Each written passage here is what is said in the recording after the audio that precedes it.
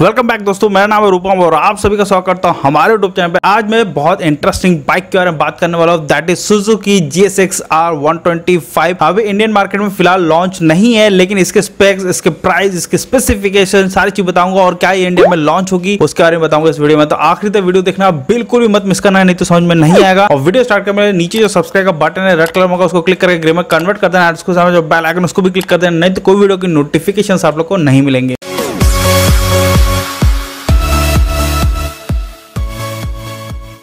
वैसे बात करो, अगर इंडियन मार्केट में आजकल एक नया चलन चल रहा है कि लो प्राइसिंग में कैसे आप हाई एंड बाइक का फील ले सकते हैं, उसमें काफ़ी अच्छा कारगर साबित हुआ है केटीएम की bike that is KTM RC 125 KTM Duke 125 maximum लोग अब ऐसी गाड़ी परचेस करें प्रोडक्ट की क्वालिटी बहुत अच्छी है क्वालिटी वाइज और लुक एंड फील आपको बड़ी बाइक की देती है, लेकिन पावर में थोड़ी कमी है, लेकिन लोग अभी भी उस चीज़ को कॉम्प्रोमाइज करके गाड़ियाँ परचेस कर रहे हैं, क्योंकि उनका जो शौक है वो पूरा हो रहा है। तो ये चीज़ अब बाहर की दूसरी कंपनियाँ भी नोटिस कर रही है लाइक सुजुकी ने नोटिस किया है, कुछ दिन पहले यामा ने भी नोटिस किया था कि 125 सीसी की गाड़ी होना ज़रूरी है इंडियन मार्केट में। उस हिसाब से देखा जाए तो सुजुकी यानी जापानीज कंपनी के पास भी एक अच्छा खासा हथियार है। GSX R one twenty five ये फुल्ली फेयर्ड बाइक है। इसका एक नेकेड बाइक भी आती है। आज मैं सिर्फ़ फुल्ली फेयर्ड बाइक की बात करूँगा। इस गाड़ी की अगर फीचर लोडेड की बात करूँ तो रीजनेबल भी है, अगर मैं देखा जाए केटीएम की गाड़ियों से। पहली बात करूँ इसके डिज़ाइन की तो डिज़ाइन जैसे कि आप देख पा रहे गाड़ी का डिज़ाइन बहुत ही आउटस्टैंडिंग है। बहुत स्पोर्ट कैटेगरी की गाड़ी आती है और ये जो डिज़ाइन मोटो जीपी जो एडिशन है सुजुकी का, वो भी डिज़ाइन सेम ही है। तो गाड़ी में ज़्यादा कुछ आपको चेंजेस देखने को नहीं मिलता है। फ्रंट की बात को तो आपको एलईडी हेडलाइट देखने को मिलता है रियर एंड में आपको मिलता है एलईडी टेल लाइट तो इंस्ट्रूमेंटेशन देखने को मिलता है, वो आपको फुल्ली डिजिटल देखने को मिलता है, लेकिन उसका जो डिज़ाइन है, वो आपको जिक्सर में ऑलरेडी देखने को मिलता है, जो हमारे इंडियन मार्केट में ऑलरेडी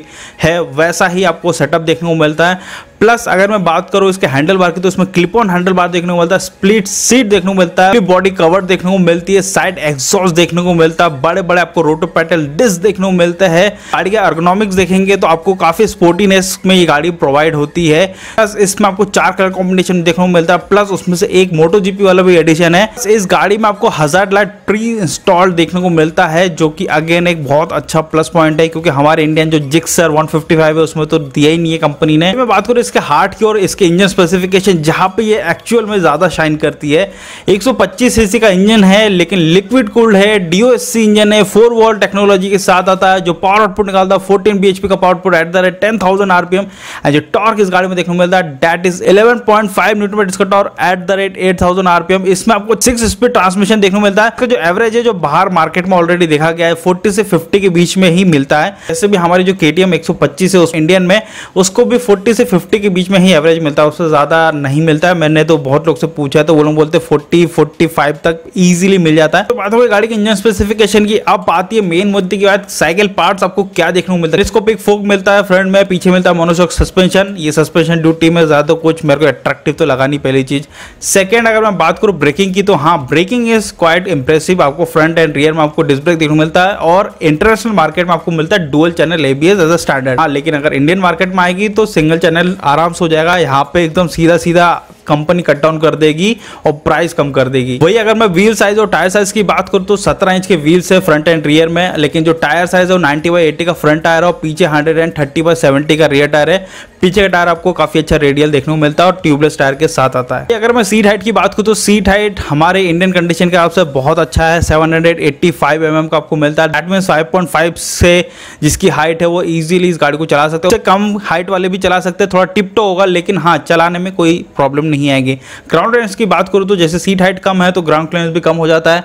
एक सौ mm का आपको इसमें ग्राउंड क्लियरेंस देखने को मिलता है। अब मैं बात करूँ फ्यूल टैंक की तो फ्यूल टैंक भी आपको इसमें कम देखने को मिलता है। सिर्फ़ सिर्फ़ ग्यारह लीटर का है।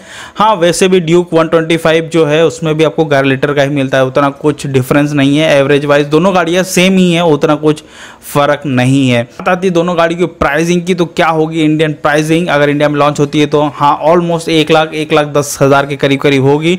और अगर ये पावर आउटपुट के हिसाब से आती तो इंडियन मार्केट में इजीली एक लाख तीस हज़ार रुपए का होगा इसका एक शोरूम प्राइस तो बात होगी इसकी राम कथा की गाड़ी में एक्चुअल में दिखेगा क्या और मिलेगा क्या? बात आती है कि कब ये लॉन्च होगी। सो so, दोस्तों अभी तो ये गाड़ी इंडियन मार्केट में नहीं लॉन्च होगी। फ़िलहाल तो लेकिन हाँ इन फ्यूचर अगर कंपटीशन बढ़ता है तो सुजुकी लिटरली इस गाड़ी को इंट्रोड्यूस करेगा। फीचर अलग होंगे डिज़ाइन थोड़ा बहुत चेंजेस होगा, लेकिन जो पावर आउटपुट है ईजिली जो K T M Duke one twenty five है, उसको टक्कर देने वाली होगी। तो बहुत अच्छा होगा अगर ये जैसी इंडियन मार्केट में लॉन्च होती है। फ़िलहाल अभी तो लॉन्च नहीं होगी, लेकिन गाड़ी देखा जाए तो बहुत अच्छी है। मेरा ओपिनियन अगर जानना चाहेंगे तो मैंने चलाई तो है नहीं, लेकिन लुक एंड फील और पावर आउटपुट सारी चीज़ देखूँ तो मेरे हिसाब से गाड़ी बहुत बेहतर होने वाली है और के से अच्छा होगा बोलो क्यों? क्योंकि के का प्राइस अब 125 सीसी की गाड़ी बहुत महँगी हो गई है। अब वो लेने लायक नहीं लगती है। वो अब बजट में नहीं आती बजट ओरिएंटेड गाड़ी में नहीं आती, वो थोड़ा हाई प्राइसिंग में आती है। आप लोग का क्या रहा है इस गाड़ी से रिलेटेड प्लीज़ आप कमेंट करके ज़रूर बताना। मैं आप लोग के कमेंट बहुत पढ़ता हूँ, उसमें अच्छा लगता है तो मैं कुछ रिप्लाई भी करता हूँ। तो प्लीज़ कमेंट ज़रूर करना। और इतना वीडियो देखते हो तो सब्सक्राइब फ्री है लाइक फ्री है, बस करो और चले जाओ। कोई पूछ थोड़ी रहा कि क्या हो रहा है। करके चले जाओ। प्यार बांटो अच्छा लगेगा। Till then I wish you soon in my next video next blog next review और इस गाड़ी से रिलेटेड कोई भी सवाल, सुझाव, कुछ भी तो प्लीज़ ये जो इंस्टाग्राम को जो हैंडल दिख रहे हैं, इसको फॉलो करिए। Within twenty four hours within forty hours अगर आपने मैसेज किया तो मैं रिप्लाई दे दूँगा। Till then bye and ciao